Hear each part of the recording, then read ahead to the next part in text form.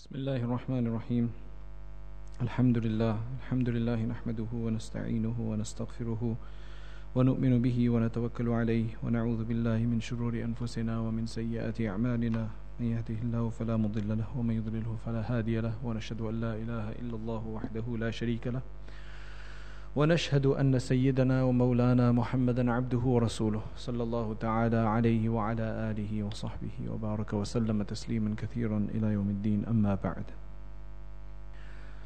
We spoke about Aswad al-Ansi and how he was dealt with by the Muslims. After him, there were a number of other impostors as well. And what had happened after the Prophet ﷺ passed away is that a number of different tribes who had just come into Islam after the conquest of Mecca, some of them had come under the name of Islam or the banner of Islam purely for the sake of expedience, just so that they could be with the kind of stronger force of the Muslims, so that they would be protected from being attacked by them or they could benefit from being with them. So many of them had not really converted. They'd just shown their allegiance in a sense and they'd kind of expressed their faith. So some of them were like that. Others, they'd just done it because of following somebody else. So they were not really serious about their faith and they'd just come into Islam recently. When the Prophet ﷺ passed away, the, the true Iman had not yet entered into their hearts yet. And they hadn't learnt enough, or some of them were just mischief, uh, just uh, mischievous. So, after the Prophet ﷺ passed away, there were a number of different things that happened in the surrounding areas. Some people just completely left Islam. Some people said, We'll accept Islam, but then, you know, we won't give zakat. So they tried to personalize their faith, for example. For example, there was one whose name was Malik, and he was considered a tax collector, I mean, because he was one of the chiefs of his tribe. And the Prophet ﷺ had made him the tax collector. He had embraced Islam during the time of the Prophet ﷺ, and he was the tax collector for his area, zakat, and so on and so forth. And he did it honestly. So he was an honest person, very, very generous person as well. He would keep the light on in his house at night time so that anybody who's traveling around would be able to see that light and they would come and he would host them. So he was a very, very generous and hospitable man. But, and in the beginning, he was very honest in the way he collected the taxes and had it delivered to Medina Munawwara. But what had happened is when the Prophet ﷺ was ill, he just collected the tax and then he heard that the Prophet ﷺ had passed away. So for some reason or the other, he decided that he's going to go and give this money back to everybody and said, Look, now you enjoy your money, you don't need to pay it anymore. So he never, he didn't necessarily claim prophethood or anything of that nature, but he decided to cut away from Medina. So he had his own kind of group and he uh, made some agreements with some of the other tribes. Now you remember, you have to remember that also among these tribes who had just come into Islam, there was still a very strong tribal mentality in the sense that they still had a lot of grudges and grievances against certain other tribes. And maybe the tribe that they had some grudge or grievance against may have been good Muslims. So you've got now a really a cocktail of problems brewing up because you've got people who've either completely rejected Islam because now they've seen that the Prophet Muhammad has passed away, so there's no need to go under that name. There's others who actually felt that okay, the Prophet's gone, then you know we don't need to be Muslim anymore. There's others who said that we are Muslim, but we're not going to do this, that, or the other. Then there were a few random here and there that actually considered themselves to be prophets. So we would, you know, since the main one has gone, the main Prophet ﷺ has gone, eh, and they saw the benefit of the Prophet ﷺ, they saw his influence, they saw what he could achieve, and so on. So they thought, great, that's a good game, and you know we should be able to get that influence as well. Most of these were very competent people. These were not necessarily just anybody off the street trying this. Most of these were leaders of their people, very endowed people, people who had either wealth or people who had a lot of influence or people who were very strong. So th- these were people like that. Some of them probably just to uh, bolster their position that I can be a prophet, then people actually listen to me more than if I was just the king or the chief of them. And some of them, it was, this, uh, you know, all of them obviously, but some uh, would actually have the shaitan speak to them, like Musaylama, who would constantly be listening out to the shaitan to say something. And he would think that Jibril comes to him, just like a few others as well, that he is receiving revelation because that was part of what they'd seen with the Prophet ﷺ that he would receive prophethood. So they had to do the same thing. And then who would speak to them? The shaitan would speak to them. So that's what you had. So one of the false prophets who remained after Aswad's time, so these are the, the main three during the end of the Prophet ﷺ's time and just after were Musaylama, Aswad al-Ansi, who we already discussed because he died before the Prophet ﷺ passed away. Uh, the last few days, that's when that happened. And there was Musaylama. Musaylama went to Medina in a delegation from his people, and his tribe had accepted Islam. And then they turned back afterwards. Now, Tulayha, he was one of the false prophets as well. And he was one of the first to have the major clash with the Muslims. His name was Tulayha ibn Khuwaylid, chief of the tribe of Banu Asad. So, this was a big tribe, and he had a history of opposing the Muslims. And he was like a little irritant. His army of small, small group of people would try to go and attack the Muslims here, there, and the other, and they would always get knocked back. They would always be defeated. But he kept springing back up to go and do something. First, he showed his hostility to Islam about three months after the Battle of Uhud. So it was really early on in Medina Munawwara. Now, he thought that, you know, if you remember during the Battle of Uhud, Muslims had kind of suffered a slight setback before they actually won the victory, uh, or there was maybe a tie, or whatever the case was. If you remember when Khalid bin Walid came round when he was still part of the Meccans, and one of the Sahaba had to actually stand with 50 people and to protect the mountain, but they thought the battle was over. So they moved away, and then Khalid struck from the side. So there was a kind of a setback. So he thought, this Tulayha thought, he wasn't part of that battle, but he thought the Muslims had been weakened by that. So he got his clan together with the intention of raiding Medina. Big ambitions, right? Big ambitions. But the Prophet ﷺ came to know about this, and before he, before Tulayha could even do anything else, the horsemen of the Prophet ﷺ were on him and they, they had to just scatter without a fight. So his people had to just scatter without a fight. And the Muslims mm, captured their flock, the flock that they, you know, when they would go into these battles, they had a lot of flock and sheep and many other things, many valuables and things like that, which they would need to uh, fight their war with and for their supplies and so on.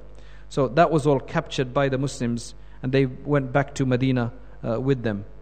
Now, this obviously caused a lot of discredit in the eyes of his people for Tulayha. You know, where did you take us into? You know, we couldn't do anything. Then after that, there was the battle of the trench, the ditch, the Khandak, if you remember. That was a major battle. And that, the other name for that is called the Battle of the Ahzab. There's a whole surah in the Quran about uh, Surah Al Ahzab. The reason why it's called Ahzab, Ahzab is the plural of Hizb. Hizb means a group, Ahzab means the different groups. This was one of the biggest battles that was fought in the Arabian, in the Arabian Peninsula until then. This was the biggest force that had come against the Muslims, and in fact, it was one of the biggest ever fights. It never really turned into a major fight because Allah subhanahu wa ta'ala had it averted because of strong winds that blew and the trench that the Muslims had dug. But it was one of the biggest ones. And how that had taken place is that the leaders of many of the disbelieving tribes had gotten together that, look, we alone cannot do this. We all have to get to this. So they rallied many of the tribes that were not under Islam, they rallied them against the Muslims. And they thought this consolidated attack would be able to finish off Medina. But the Prophet ﷺ had dug this ditch on one side, and, and then after that, a severe wind that really like uprooted many of the tents of the non-Muslim uh, camp caused them to, to go back. So there wasn't a major fight at that time. But Tulayha took part in that as well. After that, when no battle took place, they went back to their place, you know, they went back to their area. So again, Tulayha didn't get anywhere in this one either. The next occasion was against when there was a campaign against the Jews of Khaybar. And the Prophet ﷺ had the campaign against the Jews of Khaybar in the 7th Hijri. The Banu Asad, again in this case, under Tulayha, they sided with the Jews and tried to help them. So they, the Jews were obviously in their major forts, and Tulayha was coming from his area.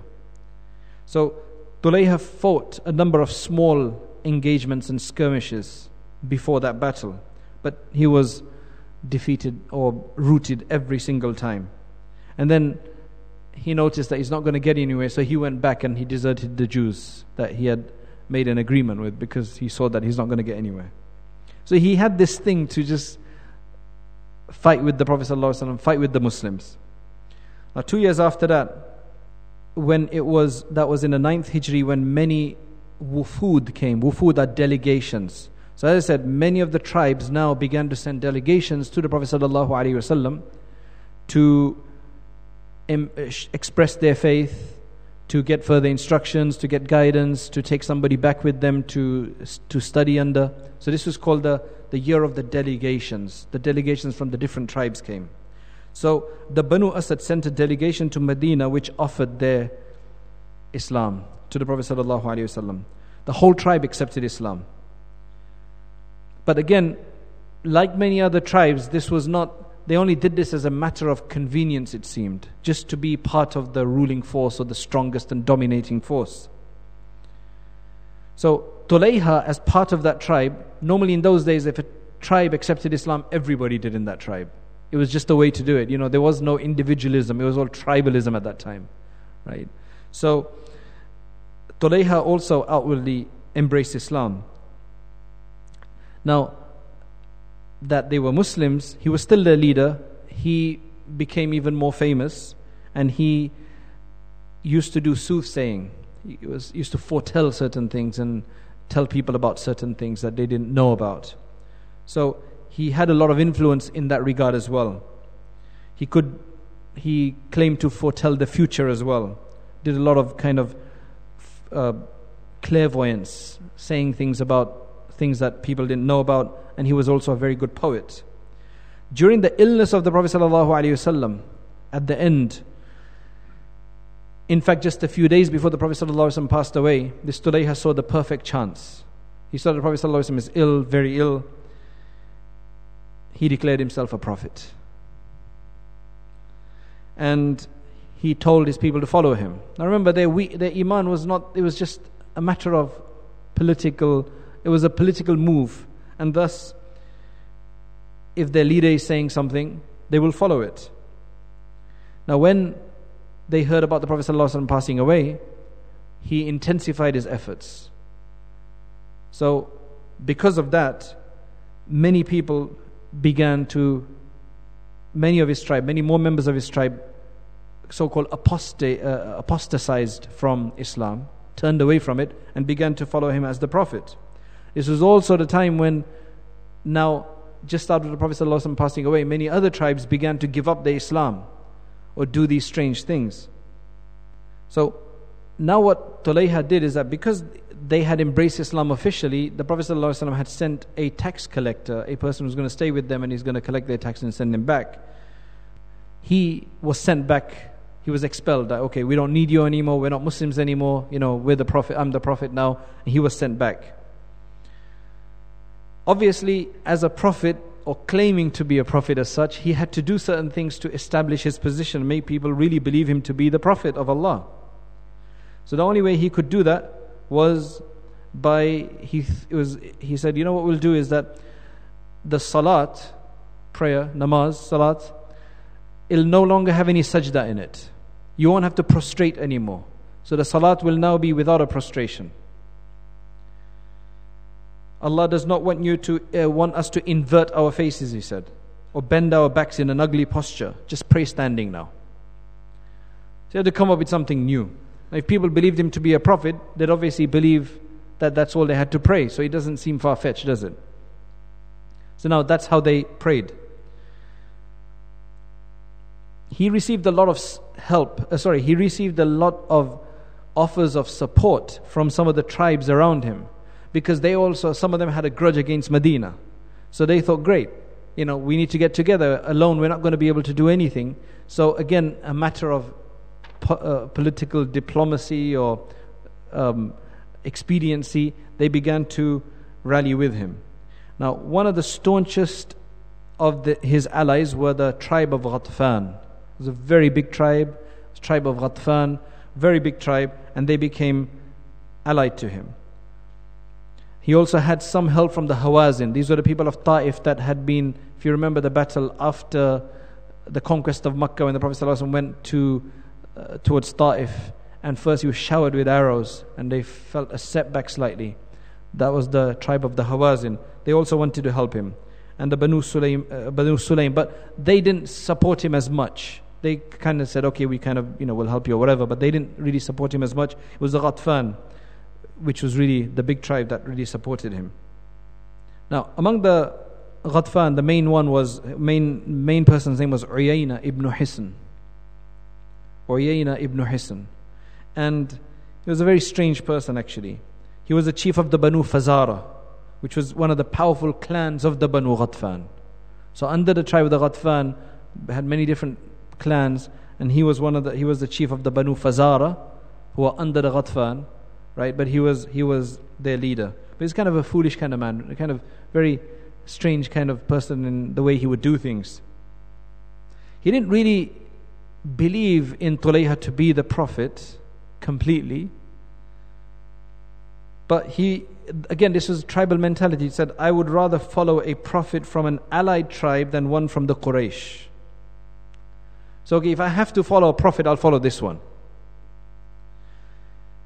And then he says, Well, Muhammad is dead, sallallahu alayhi wasallam, what he said, and Tulayha is still alive. So, now the thing is that by his support, the entire Ghatfan came to support Tulayha now uh, was going to be a severe pain in the side of the Muslim army or in, Madi- in the side of the Muslim, uh, in the Muslims in general. So now he began his preparations to go out against Medina Munawwara and kind of claim the whole thing for himself. He sent his brother first to another area where there were some skirmishes, but there his brother was killed. Tulayha moved his army to a, uh, a place called Buzakha, while, his brother went in a different direction to help out somewhere else, but he was, he was killed. So Tulayha sent different envoys to the different clans around to join them. Many of them did support him because you know they had some grudge to to take care of. So they this is all kind of get, just getting together to go out somebody else that they hated for whatever reason. They didn't necessarily believe him, but that's what the case was. Uyayna bought about 700 people from the Banu Fazara. Then, you know, so you had the Banu Asad, you had the Ghatfan. Then you had a contingent of soldiers from the Banu Tay, the Tay tribe. So it's a very famous tribe. Now, Khalid bin Walid radiallahu an, is now being sent by Abu Bakr Siddiq radiallahu an, to all of these areas to sort the matter out. So the individual tribes, the small areas, the villages who had apostated from Islam, Khalid bin Walid had to go and deal with them. So he was going to have to deal with Tulayha now. First, Abu Bakr radiallahu knew that this was a big army and they had a lot of clans that were going to support them, Tulayha. So rather than just send Khalid bin Walid like that, he thought that we're going to have to weaken their forces first. Try to kind of split them up somehow. It's easier than to deal with them. Now, he knew that the Banu Aswad, sorry, the Banu Asad and the Ghatfan, they were diehard supporters of Tulayha, so you couldn't really do much with them. But this small group of Tay that were going to support them, and Tay was actually closer to Medina, they, so that was going to be on their way. So if we deal with that, we'll be able to get to them. The, uh, we were going to be able to get to Buzakha more easily. Now, one of the chiefs of the Tay was a person called Adi ibn Hatim radiyallahu an. He was a devout Muslim and he had initially tried the whole tribe of the whole tribe had been Muslim before And when they had apostated afterwards, Adi ibn Hatim radiallahu anh, had tried to convince them that look, this is the wrong thing you're doing. Muhammad sallallahu is the true prophet. You can't do this, and so on. But they'd renounced him, and he had have to he had to leave the the tribe with a small group of people to join the Khalifa Abu Bakr as-Siddiq radiallahu anh. So Abu Bakr radiallahu anh now tried to get him to go back to them to try to talk to them because at the end of the day they were his tribesmen, and he may be able to convince them to come away from this Tulayha and not help him. So Khalid bin Walid radiallahu went with 4,000 men. And he went, after dealing with the Tai, Khalid bin Walid had Adi ibn Hatim with him. After dealing with Tai, he was instructed that the next place he was going to go to was Buzakha to deal with Tulayha there. But first he had to deal with Tai to get that out of the way. So when they got to the Tai, Adi radiallahu went up and tried to speak to them. He was very eloquent, he was very forceful, but they would not listen to him. He talked about the hereafter, he talked about the fire of hell, he talked about good virtue and so on, just leave this alone. But they, they, they rejected him. That's when Adi warned that, okay, see, they didn't know this until now. He said, then be prepared to meet an army that comes to destroy you and take your women. Now, take your women, saying that really gets them all fired up because they don't want any harm to come to their women. So this is an expression that they use that you die, your women will be taken. So that really like makes them think and kind of come down from their arrogant position. Do as you please, he said. That had the desired effect. So then they be, the, the leaders of the tribe they began to really think. They said, "Okay, fine. Can you keep this army away from us?" Because what's happened is, remember, the whole of the Tai tribe had not gone. They were supportive of Tulayha, but the whole of the tribe had not gone to help him. A small group of people had. Now they knew that if they, the, the leaders said, that keep this army away from us, we're going to try to go and take back our men from there. But if we just turn away right now, our men who have gone there are going to be killed by Tulayha's army. So we have to extricate them first, then we can come back.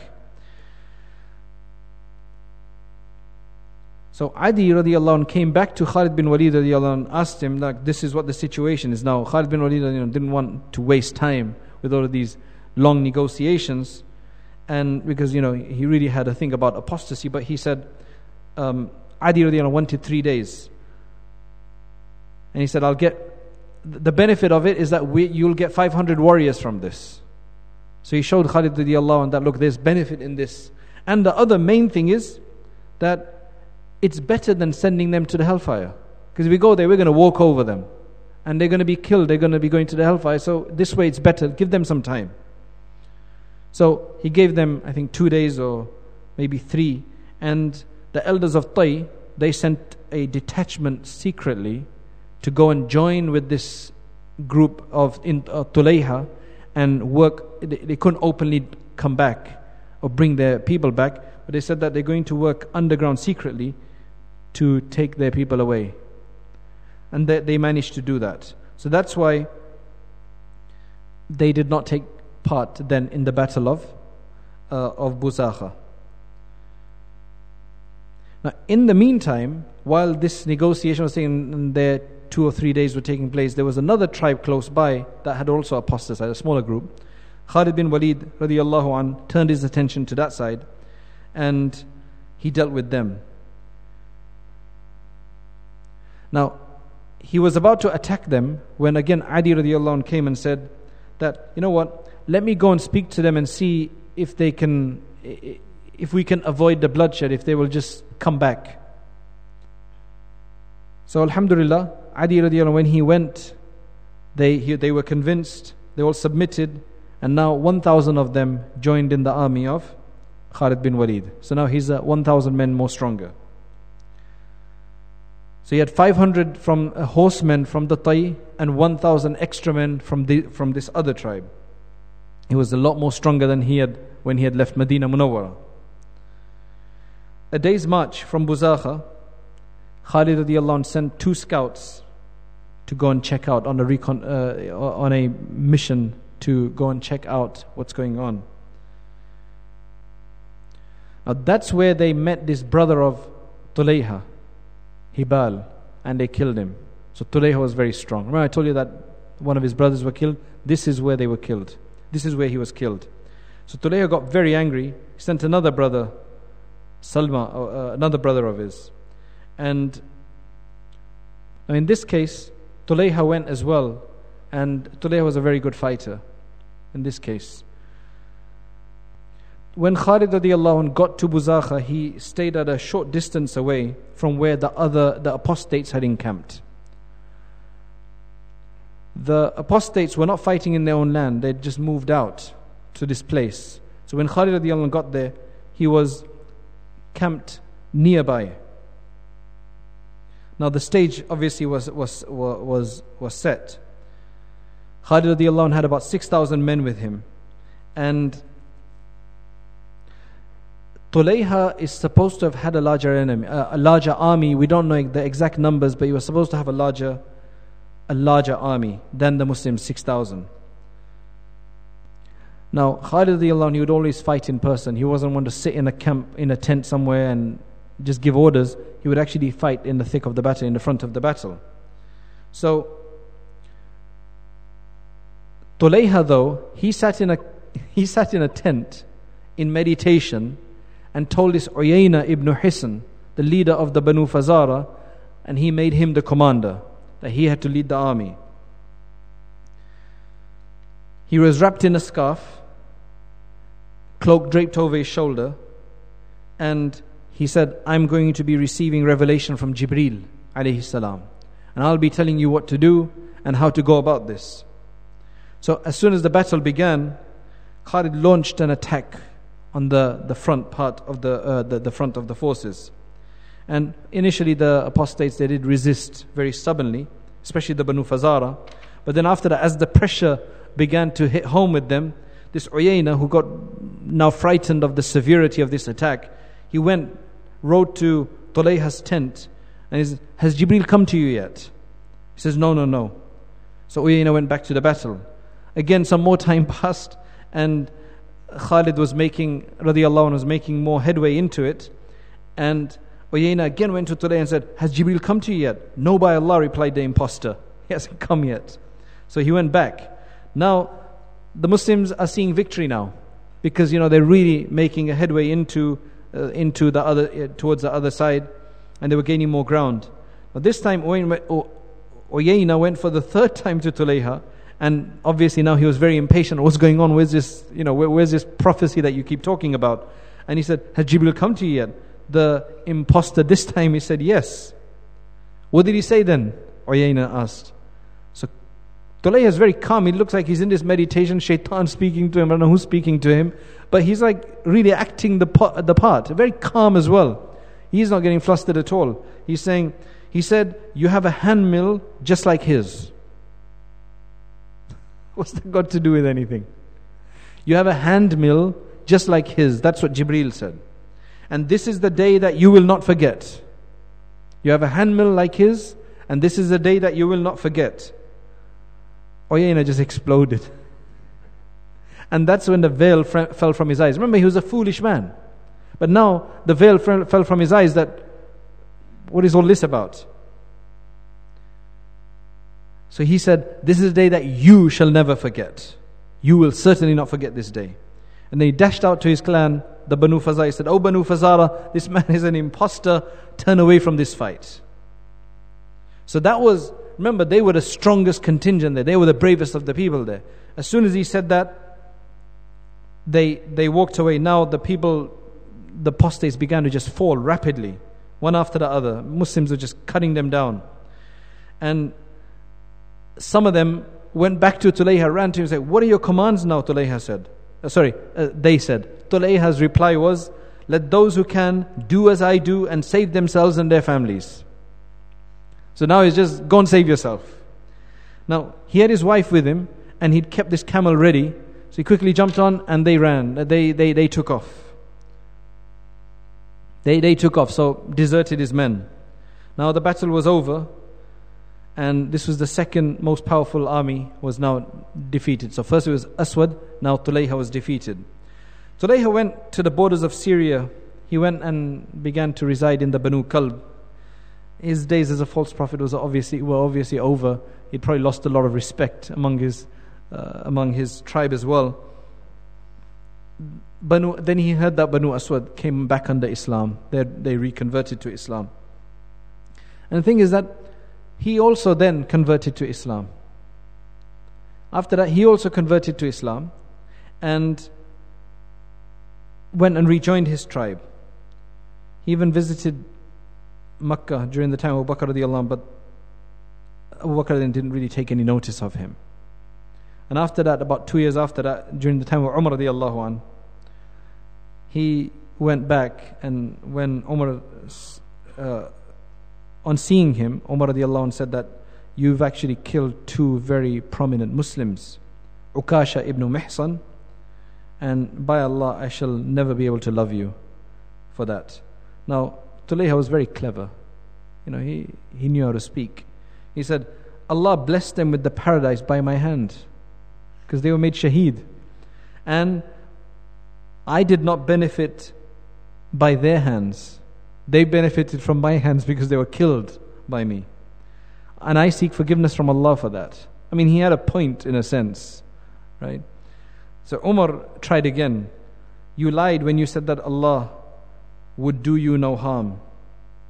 Meaning, that was some of the things that he would say before as a so called prophet. So Tulayha says that, yeah, that arose from the mischief of disbelief which Allah has now destroyed. That was all the mischief of my disbelief that I had, but Allah has destroyed that. I cannot now be blamed for it. So Umar saw, Umar saw that he's not getting very far with him, so he said, Oh trickster, what remains of your clairvoyance? You know, what other prophecies do you give? What remains of that? So he said, Nothing but a gust or two from the bellows. So obviously he was trying to get a bit smart as well there. But he lived with them. He lived with his tribe, went back to his tribe, lived there. And then, in order to prove himself, he volunteered for when the Iraq, uh, when the Persian, against the Persian army, the war against the Persian army was being fought in Iraq. He volunteered for that. And mashallah, he served with some kind of distinction. He did, uh, he, he really showed his valor then. And he was he took uh, he took part in the, some of the big battles that time. The, some of the big battles are the Qadisiyah battle, the Nahawand battle. He took uh, there. That's when he died a martyr. He he was shaheed. So I guess as a shaheed he earned his forgiveness, inshallah. Anyway, after after he had run away, Khalid radiallahu had sent people uh, had sent his army to deal with the rest of them, and uh, he dealt with them. He carried on, went to different areas, um, and carried on. Now, there's a number of other things that Khalid bin Walid did in between, but what I want to speak about is about Musaylama now, because that was the next big battle that had taken that took place. I spoke to you about Malik. Malik ibn Nuwayra, his name was. He was the chief of the Banu Yarbu' which was one of the uh, one of the power, a large section of the powerful tribe of Banu Tamim. Was another very powerful tribe. They were kind of closer to the Persian lands, and that's why some of them had embraced Zoroastrianism, which is like fire worship. And Malik married one of the most beautiful women of the area. Now, it was during the year of delegations that I mentioned, the Amul Wufud, as we call it. The tribe of Banu Tamim also embraced Islam at that time. So, Malik also became a Muslim. The Prophet ﷺ had, had, because of his position in his tribe, the Prophet ﷺ made him the collector for the zakat and for the sadaqat. And as I said, he was quite honest in the beginning and everything. And then after the Prophet ﷺ passed away, he decided to go back to his people and give them all the money back and say that your wealth is now our own and we don't need to give it. So basically, he had apostatized in that sense. So just leave that on the side for now. There was now a woman, her name was Sajja or Umm Sadira. She is the daughter of Haris, born in a family of chiefs. So, you know, she was chief material in a sense. She, had, she actually had the qualities of leadership, uh, big personality, very intellectual, and there were very few women that had been seen like her. She was also said to predict some future events. You know, I guess they would just say stuff people were interested in, like what was to happen, and then some of it would be right and people would believe it. Because, you know, if you say about 10 different things about what's going to happen tomorrow, three or four of them might come right, but that's just a fluke, isn't it? So, uh, and some people are just a bit better in seeing the trend and the way things are going. Doesn't mean that they know the future, right? So it's just okay. I know what's going to happen tomorrow. Well, you know, ten things to say, three of them might be right, so people will listen to you. She was very poetic. So, any, if, if she ever spoke to you, she would speak in in in uh, in rhyme. So, if you said something, her response would be in poetry. So she could just have a casual conversation in poetry. That's how good she was in that sense. She had initially become a Christian due to her mother's influence, who was a Christian, but she wasn't really like into Christianity as such. She hadn't really, she just become a Christian because of her mother. Now, when apostasy began to spread, Sajjah heard that, oh, there's some other prophets have come up. Tulayha and Musaylama had proclaimed their prophethood. She heard about that and she thought, why only men? You know, I, I'll try my hand at this as well. So, why can only women be prophets? Why can only men be prophets? So she was very adventurous at heart. So she decided, and she said, I'm a prophetess. And she elucidated that point, meaning she explained that point with some poetry. And her mother's clan began to accept her as a, poet- a prophetess.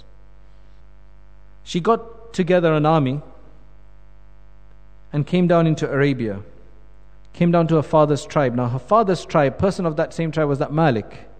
Malik ibn Nuwayra was part of her father's tribe. Now, she managed to get other people to support her. And again, it was just about getting back at people. So they, some people, some tribes supported her. Now she was very happy that she'd got all of these different tribes together to help her. So she went to Malik and she said, Look, I've got no aggression against you. We just want us ourselves to work together. The land is all yours and I'm just a woman of the Banu Yarbu tribe. The land is going to be yours. I don't want the land, but we, I just want us to support each other against our common enemies. Now, Malik wasn't a very warring person. He'd apostatized, but he wasn't a very warning, warring person. So it seems like he may have kind of toned her down a bit in, you know, not, not letting her kind of advance. Now, they did fight, though, the surrounding areas to settle old scores. That has nothing to do with Islam or whatever. But now, because they'd come kind of together, they had the forces of both their armies. They managed to deal with a lot of, settle a lot of old scores and get regain regain their uh, power over that area. Then Sajjah, who was more uh, adventurous than that, she came, she she went to another area where she began to plunder the area, but there she suffered a setback. So she was attacked, and the local uh, clan they united against this this um, terrible lady uh, that they thought, who is this that's come and is doing all of this? So her some most important people in her group were, were captured by them, and they refused to let them go unless she promised to get out of the area and stop messing there. So she agreed to do this. Now the thing was, all her people now gathered together, and the main ones came to her and said, Where do we go now? Where's the next? Because you know she was far from her hometown. Where do we go now? So said, We're going to go to Yamama. Now, who lived in Yamama? That's Musaylama's base. We're going to go to Yamama. Now they're just looking at her in disbelief. What are you going to go do in Yamama? We haven't been able to do anything here. Musaylama's got a massive army. How are you going to go and deal with them? And she said, To Yamama. Onward to Yamama with the flight of soaring pigeons, where the fighting is the fiercest, and no blame shall fall upon you. Onward to Yamama. That was all done in poetry. Now, let's talk about Musaylama. Musaylama, son of Habib, his name was, of the Banu Hanifa tribe, one of the largest tribes of Arabia, inhabiting an area called Yamama. Very powerful people. Now, the thing is that the first time you hear about Musaylama as such is in the ninth of Hijri, the year of the delegations, as we called it. Remember, these are all from the outward, uh, all from the kind of outlying tribes and villages and areas. So, this when we first hear about him in the ninth. He came with a delegation from his tribe, the Banu Hanifa, to Medina Munawwara to the Prophet. ﷺ. He actually came.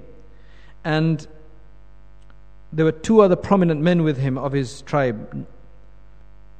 When they arrived at Medina Munawwara, Musaylama was the one who stayed back to look after their camels and belongings while the rest of the tribe went to the Prophet ﷺ to speak to him and to embrace Islam.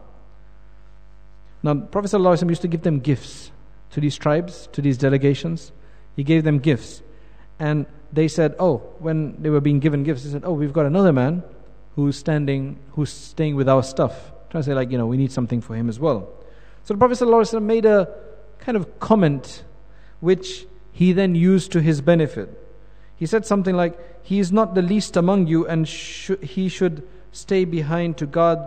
No, because he stayed behind to guard your stuff and your possessions and property, he's not the least of you. Don't think like just because he stayed back that he's like the most humiliated of you.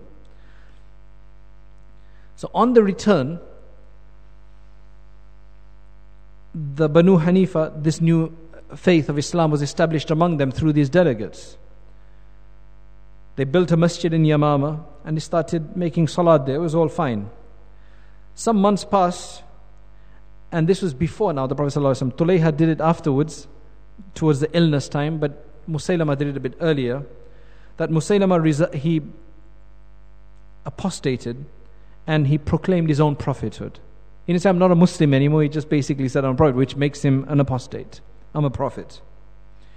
I have been given a share with him in this matter, with the Prophet ﷺ in this matter.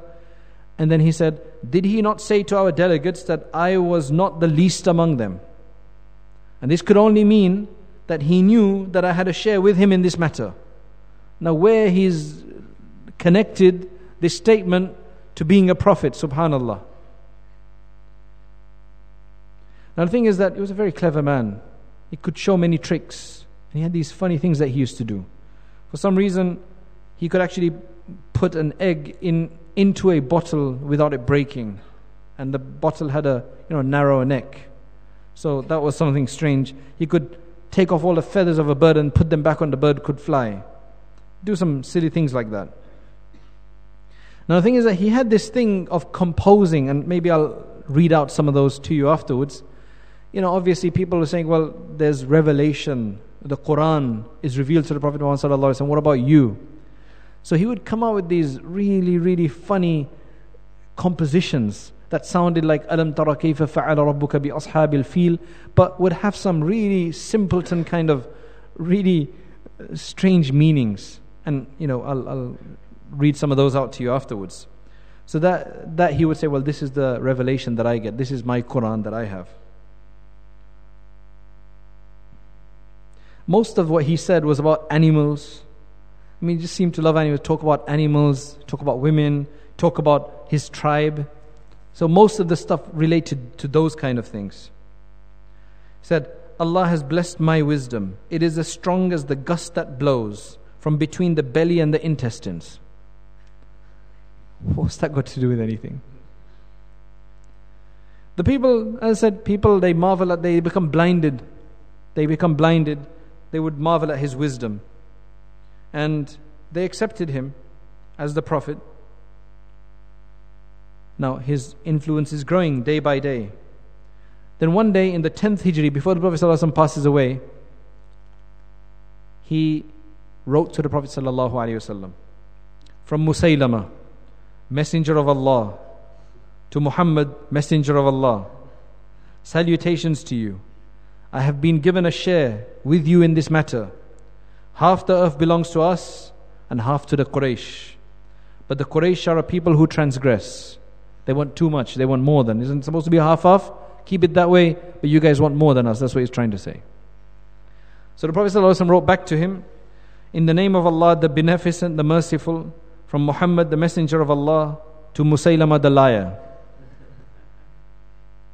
Salutations to whomever follows the guidance. Assalamu ala man al huda. Lo, the earth belongs to Allah. He gives it to whomever He chooses from among His servants. And the hereafter is for the virtuous. So from then he became known as Musaylama al Kadhab, the liar. Now, one of the two men from the Banu Hanifa, who I said they were prominent individuals, there were two, one of them, whose name was Ar Rajal, Nahar Ar Rajal, he moved to Medina and he stayed with the Prophet sallallahu alaihi wasallam and he showed that he learnt a lot and he learnt a lot of Quran and so on and so forth. And he became quite known. He, when he heard about Musaylama's mischief, the Prophet ﷺ, it was Yamama was too far away for a military expedition against them. The Prophet ﷺ decided to do it in a different way. So he sent this Rajala but as soon as he got to Yamama, he declared that Musaylama is definitely the Prophet. Now, obviously, him coming from Medina after having stayed there for a while, and his now support for Musaylama is going to obviously increase his influence. So now, even larger groups of the Banu Hanifa began to believe in him as Musaylama, the messenger of Allah. So they formed this accursed partnership uh, we could call it. And he was the right hand man. And when the Prophet ﷺ passed away, Musaylama was able to overcome the entire tribe, and people began to flock to him from the different areas. He made alcohol lawful for them. So now wine drinking was fine. That obviously increased his reputation and his influence among the people. He had some funny ideas about things many of them, but we won't. But people began to believe that he had some kind of miraculous powers. Now, although all of the Banu Hanifa expressed their allegiance to him as the Prophet, they didn't all believe him. Again, this was just a matter of experience. See that if your entire clan is believing something and you don't, you're going to be attacked. So they kind of all just went along with it as such. So, for example, one man who was told to be a mu'adhin, Jubayr ibn Umair. So he says, Ashadu anna Muhammad Rasulullah. They would say, Ashadu anna Musaylama Rasulullah. I bear witness that Musaylama is the Rasul of Allah. So one day he's giving adhan, he'd say, I bear witness that Musaylama thinks he is the messenger of Allah. Now, about Musaylama, they say that he looked terrible. Very ugly man, short statured, but very strong. A very good warrior, but very ugly. Small, close set eyes, flat nose. But he had this irresistible fascination for women. And he was very, very talented in getting them to do whatever he wished. He could just sweep women off, off their feet. You had to sit with him for a few minutes and he would sweep, sweep them off their feet. It says that no woman left alone with him would be able to um, resist his devilish charm.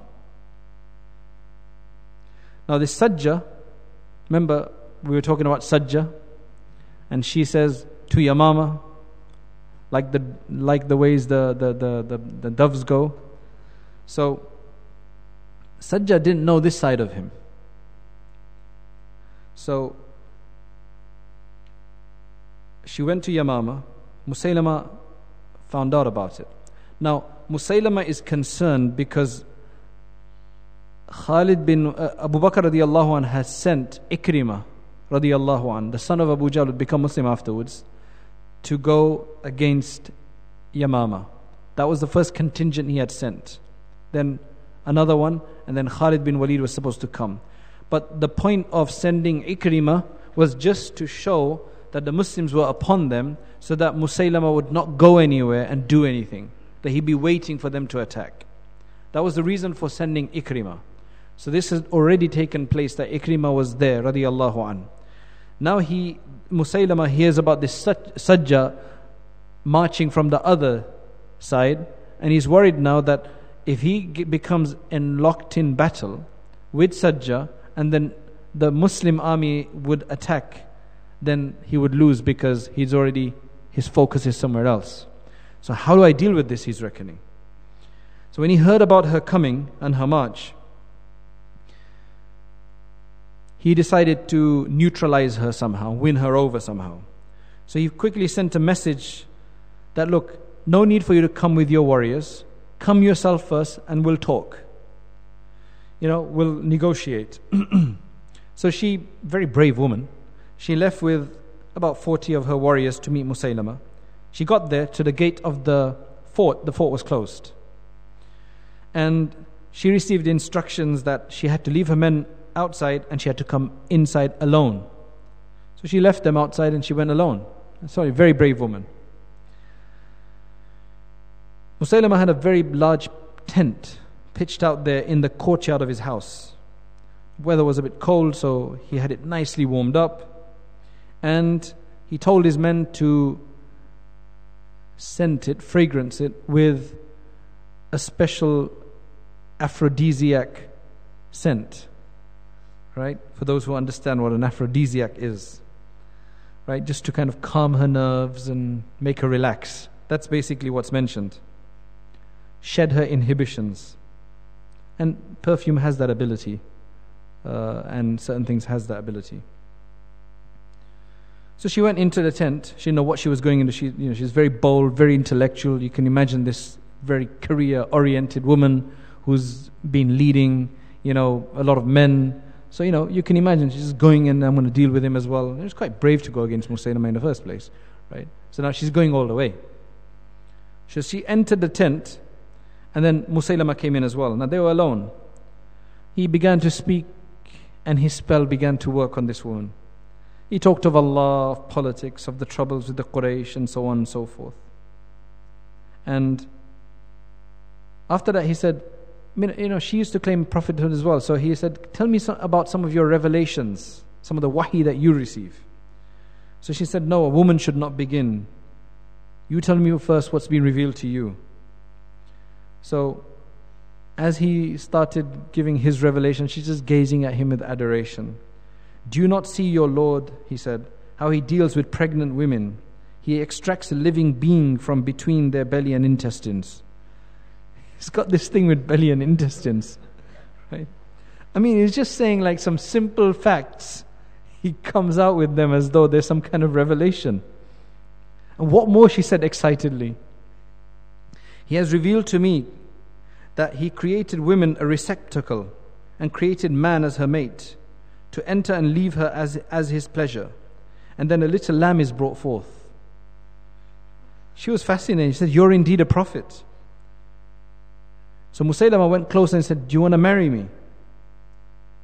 And then with my tribe and your tribe, we'll just eat up the Arabs. You know, we'll just take care of them, all of them. She said, Of course, yes, we'll do that. So she stayed with him for about three days, went back to her army. Now, the thing is that she said, I found the truth and I've accepted him as a prophet and I married him. They're like, What did he give you as your dowry then? So she said, No, there was no dowry. so she went back, that, Oh, my, my tribe aren't going to accept this unless I get a dowry. So she went back and it was locked. And He's, and he's asking from inside, What do you want? He said, Well, this is the issue. He said, Okay, go back and tell him that the wedding gift to you is that you must announce to them that I, Musaylama ibn Habib, the messenger of Allah, cancel two of the prayers that Muhammad has imposed on them. Fajr prayer and one of the evening prayers cancelled. You only have to pray three prayers a day. So obviously she went back and now the thing is after that she didn't really do much. She went to Iraq afterwards. Because when she probably noticed that I can't be, he's more prophet than I am, as such, according to her, she not sure exactly what happened. She went back to Iraq, where her father's side was from.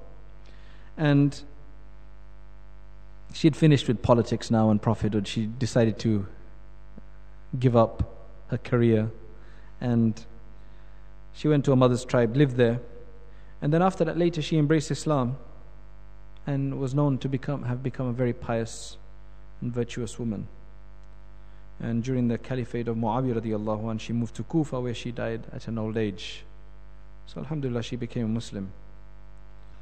But that was a very critical moment because the people who had been close to the Prophet sallallahu alaihi wasallam, they were still strong. But many of these new tribes that had come in, they didn't really have the faith, so that's why they began to apostatize. And if Abu Bakr as-Siddiq radiallahu anh, did not take care of them, he had a major responsibility as soon as he took office. Major responsibility. If he let that fester, there would have been all sorts of things going on. So for the two years and some months that he was Khalif until he passed away, he was dealing with that. But Alhamdulillah, by the end, he dealt with it. And he left it clean for Umar radiallahu. And Umar radiallahu came in and just built on it and expanded it. So they say that Abu Bakr radiallahu and the two men, if you look in history, who came at a very critical moment and saved Islam from becoming different as such. One was Abu Bakr radiallahu anh, the other one is Imam Ahmad ibn Hanbal. Abu Bakr radiallahu dealt with all of these, this apostasy and all of these declara- uh, these claims to prophethood and so on, which would have really left the Muslim Ummah in disarray. Because if you're not united, and you've got these different kinds of Muslims as such, it's really disunity. So he dealt with that. Imam Ahmad ibn Hanbal dealt with it on a different level. His was more an ideological level. When the group called the Mu'tazila had influenced the, the rulers of the time, Ma'mun al-Rashid and Mu'tasim Billah, Abbasid Khalifs, to persecute the people if they did not believe in what they claimed to be the truth about the, the, the nature of the Quran and there was massive persecution. Many ulama were killed, many ulama were imprisoned, many had to just declare to them what they wanted to hear. Imam Ahmad stood out and he refused, and because of that, the common people were saved from Islam turning into a different direction. So, what some ulama say that Abu Bakr actually had a whole army behind him with all the Sahaba, whereas Ahmad ibn Hanbal was a single man. So, his what he did was even of a greater achievement in that sense. He's not superior to Abu Bakr an, but in terms of what he was challenged with as a single individual, ah, Abu Bakr would have done the same thing if he was single, but he had Umar and everybody behind him. In fact, if you look at Abu Bakr Siddiq radiallahu an, he said, I'm going to fight with these people until they come back into proper Islam. You can't fight with people if they're not Muslims to start with. Unless they aggress against you, then it's defense. Then, then it's just retaliation. But this issue was about the fact that if you become Muslim and then apostatize, that carries the death penalty in Islam according to the hadith. So, because they negated or rejected actually a major aspect of Islam, which is zakat, he said, I'm going to fight with them. Umar radiallahu an, I mean, he, before he said that, he had expressed that he's going to go out against them. Umar radiallahu was quite surprised. Umar radiallahu was always willing to go out and take these measures, he's surprised by Abu Bakr radiallahu He's saying, Are you really going to do that? So Abu Bakr radiallahu said, Absolutely. If they even withhold from me the small, like equivalent to a small stick, then that's withholding zakat. That means they're rejecting zakat. It's not that they just don't want to pay as laziness. They're rejecting it. It's not part of Islam. We will do that. So Umar was convinced. So he had a tough job on his hand. But Khalid bin Walid dealt with most of them, as you'll see from Musaylama's story as well, that he just went and cleared the whole mess up as such before uh, the forces towards Iraq during the time of Uthman radiallahu anhu, Umar radiallahu anhu as well. So inshallah we'll cover that next time. May Allah subhanahu wa ta'ala uh, keep us united and may Allah subhanahu wa ta'ala strengthen us. May Allah subhanahu wa ta'ala enliven the faith in our hearts and keep us on the deen. اللهم أنت السلام ومنك السلام تبارك يا ذا الجلال والإكرام اللهم يا حي يا قيوم برحمتك نستغيث اللهم يا حنان يا منان لا إله إلا أنت سبحانك إنا كنا من الظالمين جزا الله عنا محمدا ما هو أهله اللهم اغفر لنا وارحمنا وعافنا واهدنا وارزقنا اللهم اغفر لأمة سيدنا محمد صلى الله عليه وسلم اللهم اغفر لوالدينا ولمشايخنا ولأساتذتنا ولطلابنا ولإخواننا ولأخواتنا ولأصدقائنا ولأزواجنا ولأولادنا ولكل من له حق علينا ولكل من أوصانا بالدعاء O Allah, accept our du'as. O Allah, accept our coming together in the masjid. O Allah, accept our forgive, O Allah, accept our istighfar and our repentance. O Allah, purify us of our sins. O Allah, purify us of our sins. O Allah, make sins hated in our eyes. O Allah, make them repugnant and ugly in our eyes so that we can abstain from them. O Allah, keep us united. O Allah, give us the strength of the deen, strength of iman. O Allah, give us the ability to follow the sunnah of your Messenger Muhammad sallallahu alayhi wasallam. O Allah, elevate your kalima la ilaha illallah. O Allah, make us the true carriers of this kalima la ilaha illallah, the true embodiment of that and the spirit of the deen. O Allah, make us true da'is and O Allah, allow us to share this with others. O Allah, O Allah, bring back humanity in us, grant us good character. O Allah, grant us true insight into the affairs. O Allah, grant us the ability to see the truth as the truth and to follow it and to abstain from the wrong and to see the wrong as the wrong. O Allah, O Allah, shower your blessings upon us. O Allah, shower your mercy upon us. O Allah, help us in everything that we do. O Allah, O Allah, for you it's easy, it's just a decree that you have to you have to make, O oh Allah, for us. It's a lifelong struggle. O oh Allah, make this easy for us and grant us the kalima la ilaha illallah on our deathbed. O oh Allah, grant us a place in Jannatul Firdaus and make all of the stages of the hereafter easy for us. سبحان ربك رب العزة عما يصفون وسلام على المرسلين والحمد لله